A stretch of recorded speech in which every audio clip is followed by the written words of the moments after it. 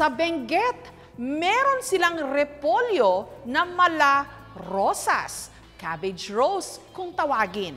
Sa Pangasinan naman, meron silang waterfalls na binabantayan daw ng isang diwata. Sa bayan naman ng Dasol, sa Pangasinan pa rin, may paliguan sa mga atapang na tao o yung mga walang inaatrasan. Pasyal tayo.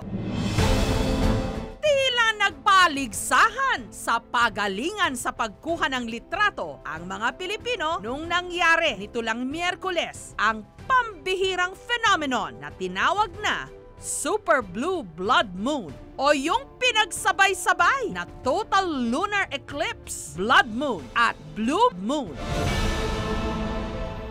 Kagaya na lang ng litratong ito, nakuha ng photographer na si Olen Ko sa Mount Kabuyao sa Benguet. Hilig daw talagang litratuhan ni Olen ang kalikasan, lalo na ang mga magagandang tanawin sa Cordillera Region at Pangasinan. Ang hilig ko talaga landscape. Tapos mahilig na rin kasi ako sa sceneries. Ganon, every time na alis kami for vacation. Talagang hihinto ako sa street para lang sa mga mga side ng road, para lang mag-shoot. Pero sa lahat daw ng kanyang mga nalitratuhan, ito ang marami ang naintriga. Ang mga bulaklak hindi gaanong kilala pero kaakit-akit. Ang view breathtaking. This oras ng gabi, pinupuntahan talaga namin siya. Trial and error din yun kasi minsan madilim pa eh. Kasi before mag-sunrise, hindi pa ganun kaano yung lights mo. Kaya minsan, pag uwi mo rin sa bahay, doon mo rin check ay may maganda pala. Hindi po ito taniman sa ibang bansa, kundi sa Benguet lang. At ang mga nasa litrato na itsurang repolyo at rosas din. Ang scientific name nito, Brassica oleracea, mas kilala sa tawag na cabbage roses. Sabay ng pagputok ng araw, ang pamumukadkad ng cabbage roses na ang lila o lavender nitong kulay mas tumitingkad kung basa ang lupa dahil sa below 10 degrees Celsius ditong temperatura. Pero hindi raw talaga ito mga bulaklak, kundi uri ng repolyo. Ang nagmamay-ari ng dalawang ektaryang tanimang ito, si Lani at ang kanyang asawang si Leonardo. Sampung taon nang nagsusupply ng ornamental flowers ang mag-asawang Leonardo at Melanie. Ngunit dalawang taon pa lang daw nung subukan nilang magtanim ng cabbage roses na ang mga binhi in-import galing Japan. Nagsimula po ito yung asawa ko po, nagdi-deliver po siya ng bulaklak sa Dangwa. Tapos nakita niya na maganda po pala magtanim at magbenta ng bulaklak kesa sa gulay. Nung una po, pakonti-konti lang. Tapos nung natutunan namin kung paano talaga magtanim, ngayon nagtatanim na po kami regularly ng mga imported varieties ng mga bulaklak. Booming industry siya uh, kasi siya yung nagiging cash crop ng mga farmers namin. Sinasabi namin cash crop kasi kung nag-harvest ka every week, So, meaning every week may cash ka.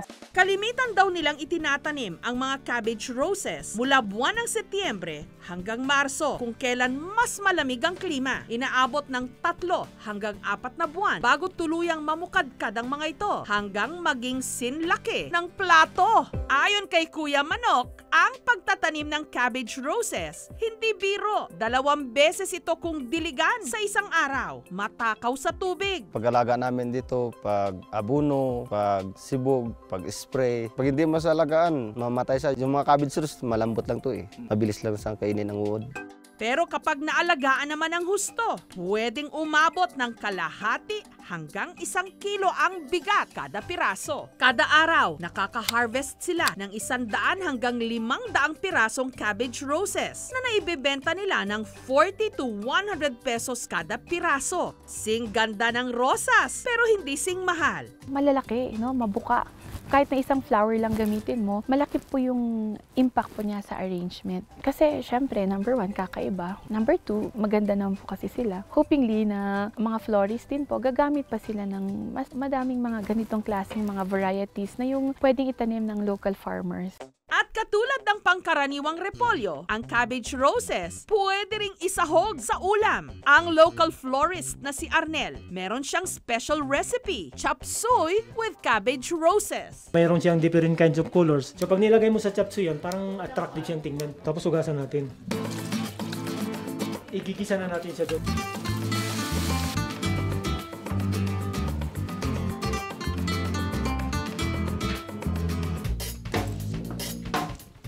Delicious. Mostly ng mga restaurant dito, lalo sa Baguio, ginagamit na yan. Kaya lang, parang mas, mas kwan kasi siya nga na ginagamit dun sa florist. Niluluto namin yan pag may mga special na mga bisita. Pero paglilinaw ng mag-asawang Leonardo at Melanie, ang kanilang farm, simpleng taniman lang daw at hindi tourist spot. Pero dahil na rin sa mga dumarayo pa rito, makita lang ang kanilang naggagandahang cabbage roses, paminsan-minsan, pinapayagan na rin nila itong maisa publiko. Magandang ila kami nakakita lang ganito. Kala ko nasa abroad kami. Nung una ko silang nakita, syempre, I was very amazed kasi parang hindi ko malaman, cabbage ba talaga na vegetable or ornamental? Masaya din, no? Siyempre. Kasi na- na-appreciate ng ibang tao yung farm. Basta wag naman tapakan, no? Kasi hindi mo kasi maiwasan na pag nagpapapicture, gano'n, nag, nagpo-post, meron at meron po kasing natatapakan, merong naiipit, yung mga gano'n. So, careful lang po. Yun lang po ang request naman namin. Mula Benguet, biyahe naman tayo ng limang oras pababa sa bayan ng Dasol sa Pangasinan para mag-swimming. Sa pagsuswimmingan dito, imbes na ma-relax, tila stressful? Isa kasi itong natural pool na kung tawagin nila, kupaw-kupaw. Salita sa Pangasinan na ang ibig sabihin, lulubog lilitaw dahil sa mayat mayang hampas ng dambuhalang mga alon mula sa West Philippine Sea na pinaiigting pa ngayon ng hanging amihan sa rock formation ito. Ang Kupaw-Kupaw Pool malapit lang sa isa pang natural pool na una na naming itinampok, ang binansagang Death Pool sa Pangasinan. Bagamat doble ang laki ng Kupaw-Kupaw Pool sa Death Pool, hindi ito closed pool. Ang kalahating bahagi nito bukas sa dagat. Mas mahirap din daw itong puntahan, lubak-lubak at masukal ang daanan papunta rito. Pero malaking tipid dahil wala rito entrance fee. Naabutan ng aming team doon ang magbabarkadang ito na lakas loob na tumatalon mula sa cliff, sabay bagsak at niragasa ng alon.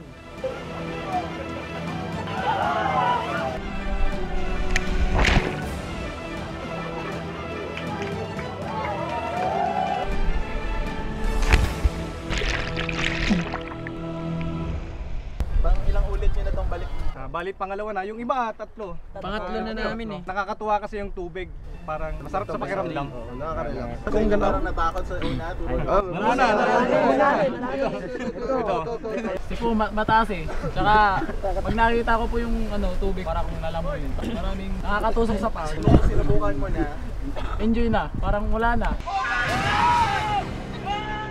Paalala ng mga otoridad na tatangi man ang ganda ng Kupaw-Kupaw Pool, delikadong lumangoy rito dahil kung hindi ka alerto, pwede kang malunod o mabagok ang ulo sa naglalakihang mga bato. Kailangan mo ritong mag-ingat. Kung talagang delikado, bawalan namin sila. Kung alanganin talaga yung tubig, hindi namin pwedeng paliguin yung mga bata dyan. Ako, binabantayan ko lahat sila. Pag may bisita, pinupuntahan ko, bawal ngayon dahil magalaw. Yun eh, pinagpag-usapan ko sila na wag naman. Pagkatapos magtampisaw sa dagat, masarap kumain ng pakwan. At dito sa bayan ng Bani, sa Pangasinan pa rin, hindi ka mauubusan ng pakwan dahil ito ang binansagang Pakwan Capital of the North. Nito nga lang Miyerkules, ipinagdiwang ang kanilang Pakwan Festival kung saan nagkaroon ng sabayang paghiwa at pagkain ng mga pakwan ng inihilera sa kalsada. Ipinakita rin ang kanilang biggest pakwan na tumimbang ng halos 15 kilos. Super tamis ang pakwan ng bani! Matapos makisaya sa piyesta ng mga pakwan, pwede ring bisitahin ang ipinagmamalaki nila ritong tourist spot, ang Busay Falls. Kailangan lang umarkila ng tricycle mula sa bayan patungo sa barangay Kalabang. Pagdating sa barangay hall, magbabayad ng 10 pisong environmental fee. bawal akitin ang falls. So, syempre for safety purposes po natin, bawal magdala ng mga pagkain sa paliguan. Then, especially po, bawal po tayo magkalat doon. Pagkatapos, kailangang dumaan sa lubak-lubak na daan. Ang isang ito, hindi nagpatinag sa rough road, nagawa pang mag-video sa taas ng tricycle. Pero dito na magsisimula ang totoong thrill. Bago ka kasi makarating ng Busay Falls, kailangang mag-trekking ng 10 to 15 minutes pababa ng bundok. Bago na po ako. Masakit ng tuhod. Ganda! Ang pagod sa paglalakad, mapapawi sa ganda ng talon. Nagbubukas lamang po siya sa public around October, minsan din po September hanggang February. Sa mga nagtitipid, kasyang-kasya po yung budget nila. Ang binabayaran lang po sa amin is yung ating ecological fee na 10 pesos. Then meron din pong parking fee doon sa ating private. At dahil may lalim na 16 feet ang talon, laging may nakaantabay na lifeguard.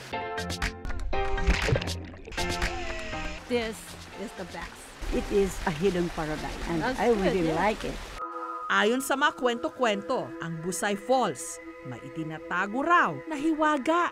Si Aura, isa sa may-ari ng lupa malapit sa waterfall, mapapatunayan daw niya na may mga elementong naninirahan sa talon. Ipinakita pa nga niya sa aming team ang litrato na kuha raw ng isang turista na di umano may nakuhana na mga elemento. Yung ulo niya, mukha niya, nakatagip ng buhok, ayun ang kamay niya. Ito yung diwata nasa gitna. Nakatago siya doon sa ilalim ng sulok ng bato. Ito yung sirena. Paano po natin nasabi ng sirena po yan? Ayun yung buntot niya. Based sa mga images, na-form ito dahil sa, sa tubig. So, yung lagaslas ng tubig plus yung hampas ng mga hangin, nagkakaroon ng imahe. May mga forms, may mga shape, tapos may mga shadows, may perspective, may perception. Na nagkakaroon ng isang illusion, akala natin meron tao o hindi. Sa mga pumupunta gustong makapunta, kung may makita silang magandang bagay dyan sa Busay Falls na yan, ng Mahiwagang Falls na yan, tama ng purihin nila. Huwag na lang nilang hawakan o putulin. O hayan, meron ka bang lakas ng loob na dalawin ang paliguan na para lang sa mga matatapang? Pero kung ang hanap mo, mga tanawing nakaka-relax, marami tayo niyan.